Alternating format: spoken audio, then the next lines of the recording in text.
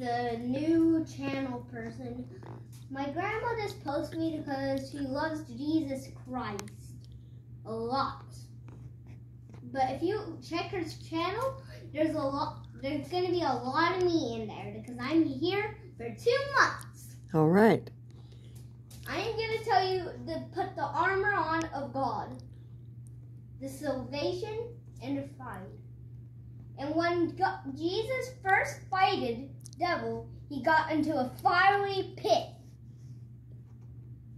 And the best is you're gonna see me fight this after almost the end of the channel. But putting on the armor of God is the best thing.